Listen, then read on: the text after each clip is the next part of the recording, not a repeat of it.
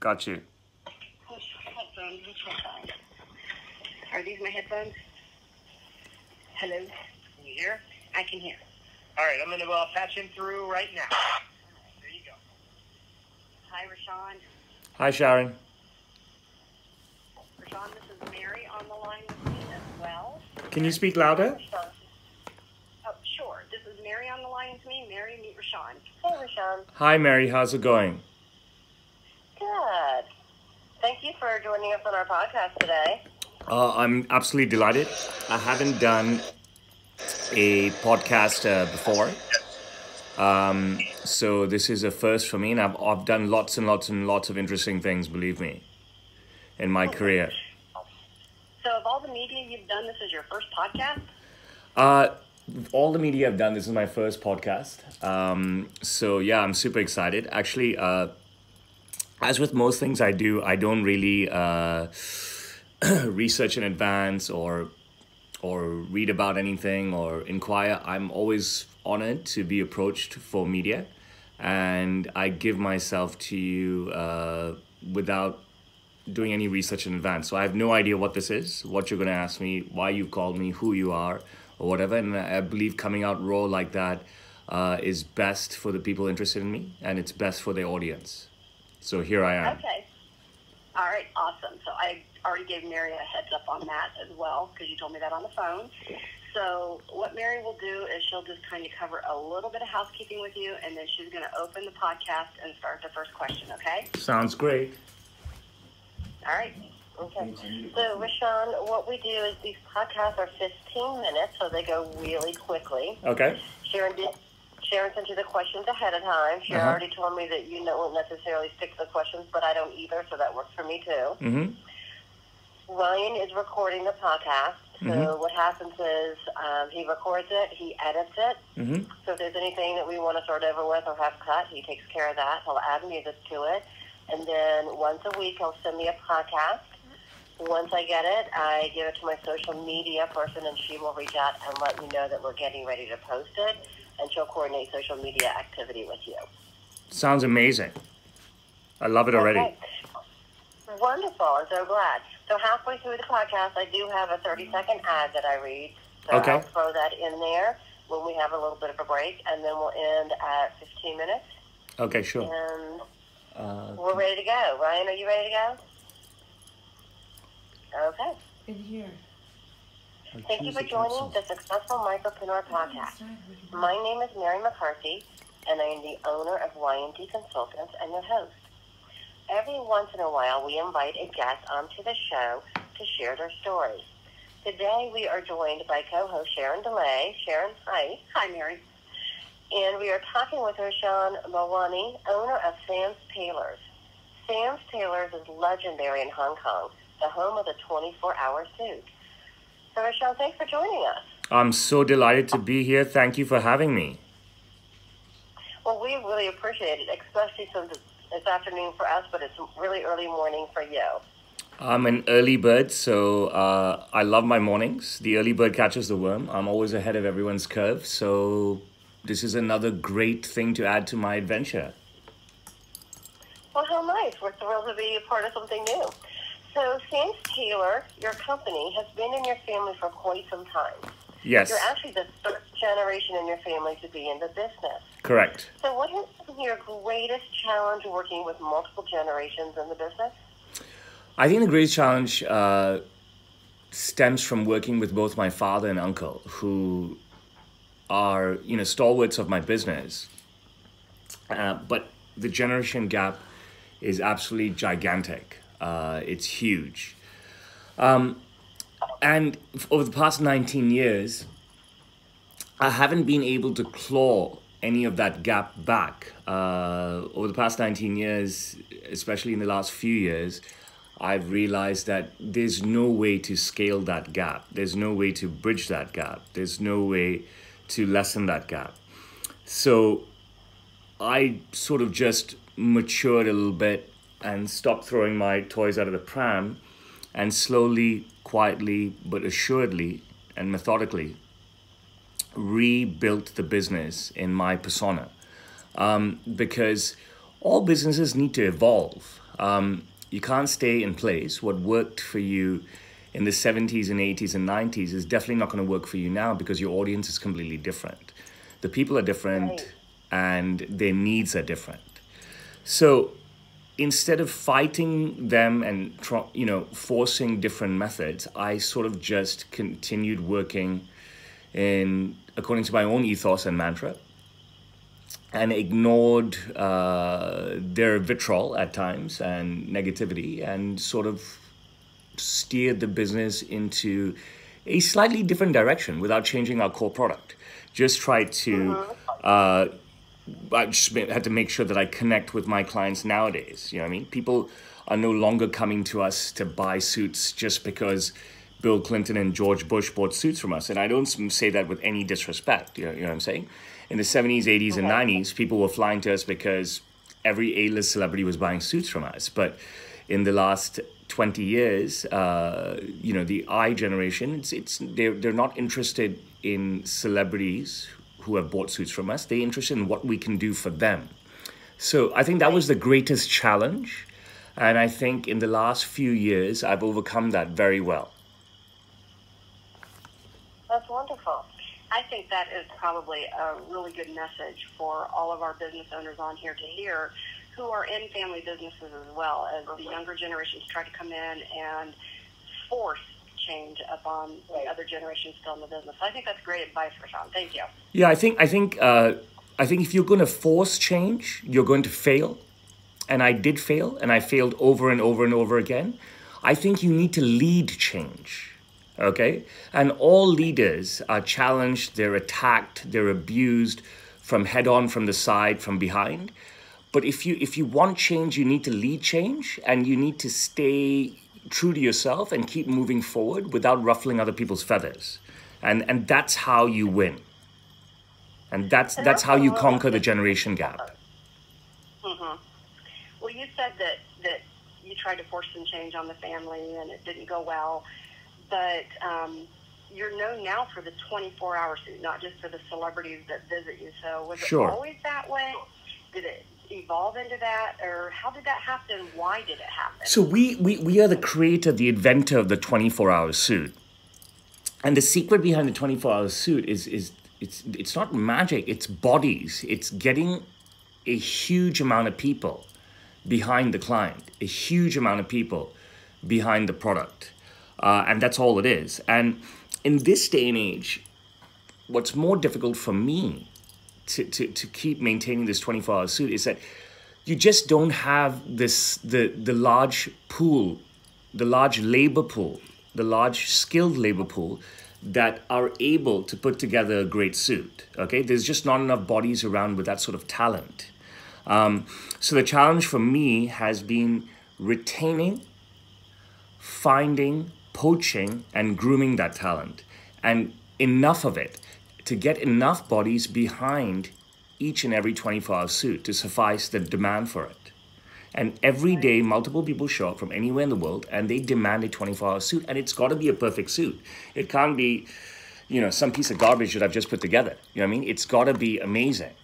And, and you know, I thrive on speed and, and so does my team. And you know, when people come up and say, "Look, we've got four days, five days, don't rush it," I'm like, "No, we need to rush it." And it's not rush. It's not a rush. We, we are not rushing. This is what we do. This is our forte. If you tell us, you know, it's Monday and you know you're leaving on Friday.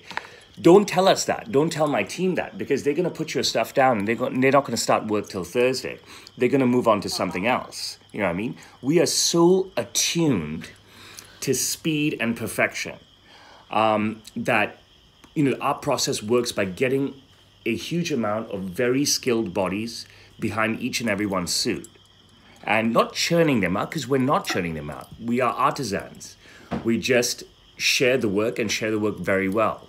And uh, I've sort of I've sort of streamlined this process over the years. Even on the other side of the world, you guys are experiencing the exact same things that we're experiencing over here with finding talent, retaining talent, getting the skill set, keeping them engaged and getting work done. So it's interesting. So Mary, I know you had another question. So one of the things that you had talked with Sharon about was having a simple plan. Um, give the client what they want, even when they don't know it themselves. So I started hearing you talk about that a little bit about uh, not listening necessarily to the customer says, don't worry about it, we've got time. You've got your plans. I heard, I heard a lot of process, a lot of procedures, and a lot of focus in order to always keep things moving forward in order to hit the 24 hours. So how do you do that? How do you keep everything focused, everything constantly moving forward, especially if you are struggling sometimes with hiring? Um, that's why I get the big bucks. You know what I'm saying? Um, that's why I've inherited. that's why I've inherited this position. I forced my inheritance. Okay, that's why those around me in my generation, well, uh, you know, just ran away. They, you, you know what I mean? Believe me, believe me. Till today, my father and uncle want to share the wealth. They want other bodies in. They don't trust me to have it all. You know what I mean? It's their tree. Uh, that they've built, um, and they're, I think they're scared of me that I'm gonna, I'm gonna tear it down because I'm a bit of a freak. Um, but that's why I am the perfect guy for the job because I am the maestro. Okay, and it's very difficult to explain to you over, you know, a, a medium like this what I do. You know what I mean? You need to be in my shop to see me work my magic. You know, you know what I'm saying? I'm the composer. I've taken the best traits of my father and my uncle. Okay and combined them with my traits, and over time removed my temper. Uh, and when I say temper, I, I don't mean that I have a bad temper. I mean that when you're young, when you're fresh, and I don't mean just being young by age, when you're a novice, things irk you and you can get upset. Uh, and your team doesn't want you to be upset. Your team needs you to be the leader. They need you to be Superman. They need you uh-huh. to be the gladiator. Okay, when you come to my shop, it's craziness. I mean, there's 30 clients, and there's 50, ta- 50 tailors, and 15 consultants. Okay? So let's do this 30 clients, 50 tailors, and 15 consultants. Okay? That's 95 people running up and down. You, you, you, you know what I mean? Um, and it's my job to make sure that it doesn't look chaotic because that will scare people away. And that's what I do. And that's what I do really, really, really, really, really well. Um, I don't want my arrogance or anything to shine through uh, when I say this. I mean, you ask a question, I give you an answer. I just have developed the knack of bringing this all together. I know which client to pair with which consultant. I know which client to pair with which tailor. That comes from 19 years of being on the job every single day. Um, and that's one of the secrets of my success uh, when it comes to managing my business, managing my team, managing my clientele. My team always turned to me um, and they say, Boss, uh, who do we pair with? And first and foremost, I will say, Who do you want? Uh, and then they will say, I don't know. Or, sorry? You have great videos on your website that really kind of show that. Yeah. So I watched a number of them. They were really fun to watch. Great. I'm, I'm glad you like them. I, I did see him, and I looked at a lot of his different media and coverage and some of his news articles. And you have a great global reputation. So I think, Mary, that leads perfectly into your next question. Okay, go ahead. What's your next question? So, I was looking for my next question. Ryan, you can cut that point out. okay, so just like Sharon was saying, you have a global reputation mm-hmm. creating suits for the likes of royalty, Hollywood actors, world politicians, and even other fashion designers such as uh, Tory Burch. Yes. Your home name list on your website goes on and on. Mm-hmm. How does a small family-owned business end up making suits for all of these famous people and still keep its focus? Uh, yeah. Because we are real, we're tangible okay and we're small and it's it's you know i'm i i hesitate when i make comparisons because i'm not trying to negate anybody else's business. But it's very simple the answer. You come to us there's just us. There's nobody else. You, you understand me? You walk through the door you get me and my father okay? And and my team and my tailors. You, you know what i mean?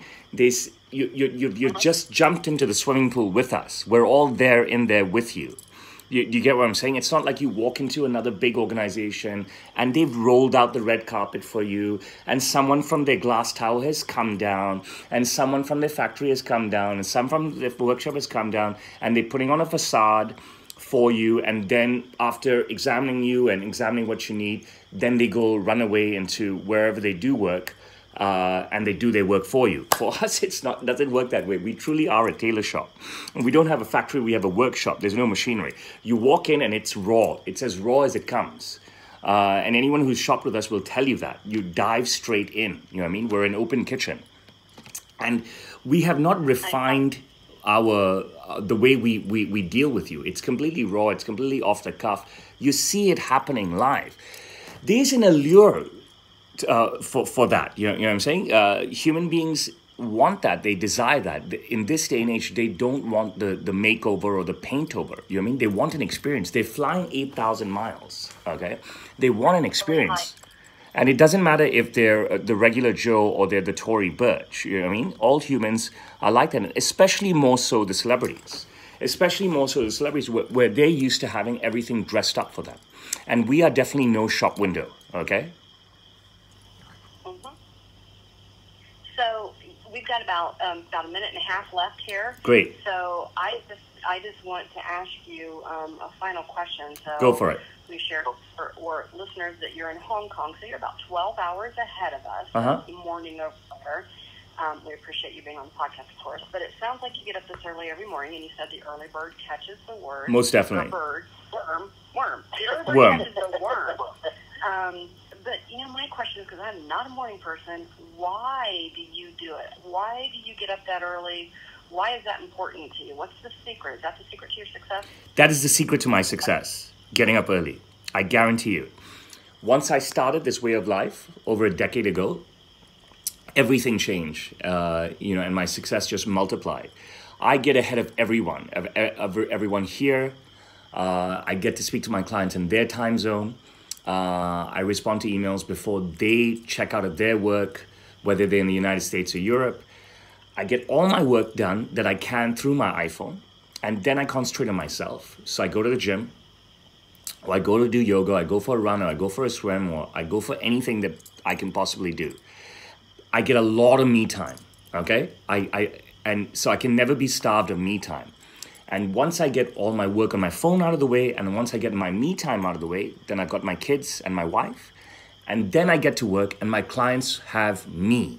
Okay, they have me in its fullest form, in my fullest form. I've I've ticked my boxes with my children, and that's filled me with love and motivation. I've ticked my box and time with my wife. Okay, which has made me feel great. I've had 70, 75 minutes of just me time. I can't ask for any more. I'm so blessed. And I've gotten all the, the garbage work on my iPhone out of the way. So when I get to work, I can be there for my clients who want me. You know what I mean? They've flown 8,000 miles to see me. I can be there for my team who need me to lead them. You know, you know what I'm saying? I, I liberate them. I want them to be creative. I want them to be free. But ultimately, they can only do so knowing that I'm in their corner. And I get to be there for my tailors who want to do exciting things, who want to do stuff outside of the box, but they still fear, uh, you know, stuff falling to bits. And I'm there to, to erase that fear or to pick up the bits if they do fall apart. So the early bird catches the worm. Those are my worms, and I make sure they get caught every morning, every single day, seven days a week. Well, I have to say that is really good advice for a listening Great audience. leadership. I haven't necessarily wanted to get up that early in the morning, but you made a really good case for me to change that. I'll tell you. Thank you. So, I, I would like to thank Sharon and, and Roshan Melwani for joining us today. So his contact information will be posted along with his podcast on our website, thesuccessfulmicropreneur.com.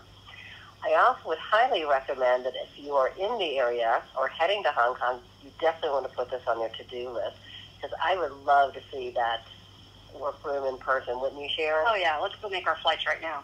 Okay, we'll do, we'll work on that. So thank you for listening to the Successful Micropreneur podcast. Be sure to subscribe on iTunes and Stitcher, like us on Facebook, and share our podcast link with all of your micro business owner friends. Thank you again for joining us today. My name is Mary McCarthy, owner of YMD Consultants. We're starting a business is tough, failing a business is unnecessary. Okay, we are done. That goes so fast, doesn't it, Roshan? That was awesome. Yes, it goes so fast. It goes very fast. The, the I beautiful hope- thing is Ryan does an amazing job with cleaning things up, making it sound beautiful. It'll sm- or flow smoothly, And when it's ready to go, I'll send you a link. You may hear from Shauna as well from us, who will give you a link. You can load it to your website. You can direct people to our website, which we would love. Yes, I will definitely do that. You you give me what you want, and you tell me what you want me to do, and I will do it. And I want to personally thank you for how amazing you've been with responding and being very timely and lovely about this whole thing, and not bad for finding somebody through an Entrepreneur Magazine article. That is my forte, and I am grateful to you for noticing that. But moreover, I am so thankful to you for this opportunity. This is yet another wonderful thing in my blessed life. My adventures continue. Thank you for making this happen for me. You're amazing. You are amazing. thank you. You have a wonderful rest of the week. I am going to have an amazing rest of the week. I promise you that. I, I live a right, blessed, I'll blessed life. up. All right, I'll follow up soon, okay? Sure. God bless you guys. Thank you for this. Thank you so much. Bye-bye. Take care. Bye. And there we go. Roshan's adventures continue. God, life is great. Uh, speak to you all soon. Bye.